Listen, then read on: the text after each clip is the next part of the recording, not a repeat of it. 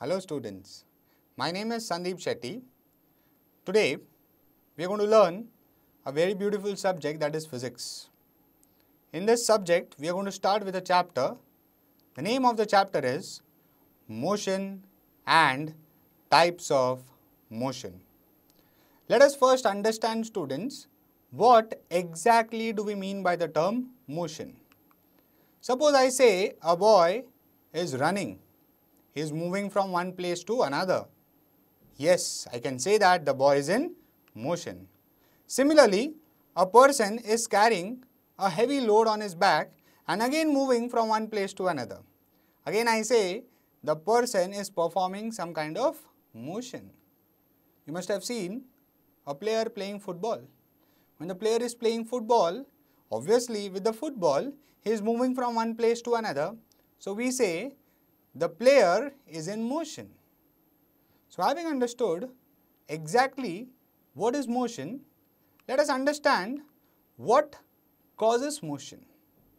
Suppose there is a train, this train is not moving and there are a lot of people who are applying some force to move the train.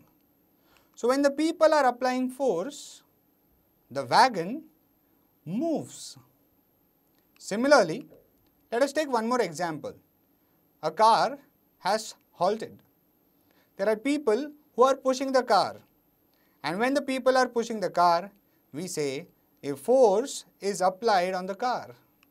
So, students, similarly, a car has stopped in between and if we have to move this car, again we have to apply some kind of force. So let us now understand what is the cause of motion. The cause of motion is nothing else but force. Having understood the cause of motion, let us now go into the depth of what exactly do we mean by the term motion. Change in the position with respect to surrounding is called motion. There are motions which are of different different types. These are called as motions of different types and there are basically five different types of motion. The first type of motion is called as linear motion. The second type of motion is called as oscillatory motion. The third, a very simple one periodic motion, random motion, fourth, and the last one is called as circular motion. Students, you must have heard about these different different types of motion. You haven't? So let's see what are the different types of motion. But I am very sure you must have seen these different types of motion happening with you or surrounding you in your daily life. So let us correlate and understand what are these different different types of motion. But students, let us go one by one. The first type of motion that we are going to study is called as linear motion. What do you mean by linear motion? The meaning of the term linear is straight, one line. You must have seen bullock carts moving from one place to another. So we say a bullock cart moves slowly in one direction. One direction means linear motion. You must have seen ants which are moving one behind the other in a straight line. So ants move in one line one after the other. So we say ants are in linear motion. Isn't it very simple students? Students, let us now understand in detail how do we define linear motion. Linear motion is basically of two types. First is called as uniform linear motion.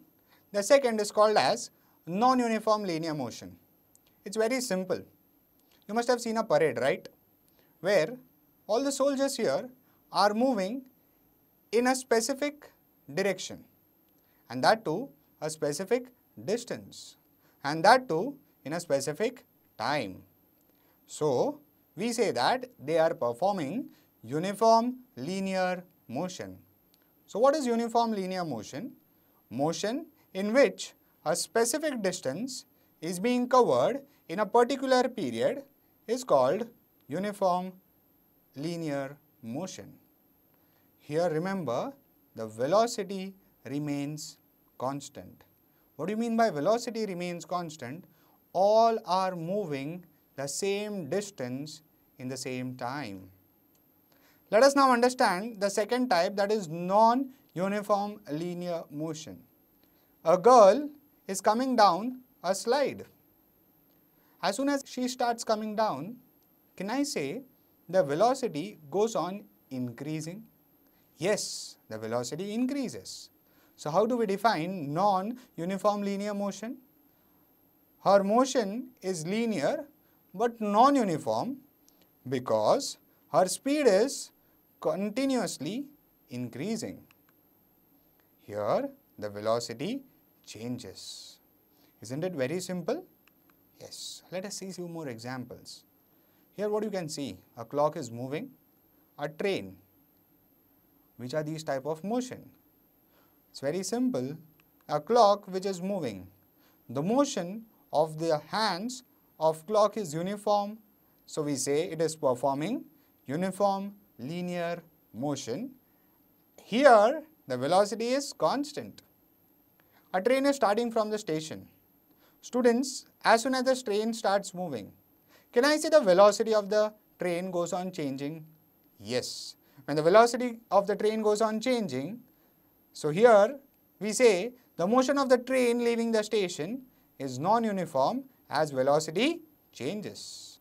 Let us now understand the next type of motion that is called as oscillatory motion. What do you mean by oscillatory motion? You must have heard about this term called as oscillation. What is oscillation? It's very simple. The back and forth motion is called as oscillatory motion. So how do we define oscillatory motion? It's very simple. A back and forth repetitive motion is called as oscillatory motion. You must have seen a bird flying. When the bird is flapping its wings, we say the motion of bird's wings are nothing but they are performing oscillatory motion. A person or a child who is sitting on a swing, he is moving back and forth. So we say the motion of the swing is nothing but oscillatory motion. You must have seen this, it's nothing but a pendulum. When the pendulum is moving back and forth, can I say it is moving in the same path again and again? So motion of a pendulum is nothing but back and forth. So again it is called as oscillatory motion.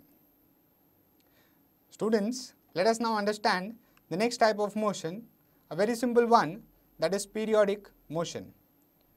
What do you mean by periodic motion?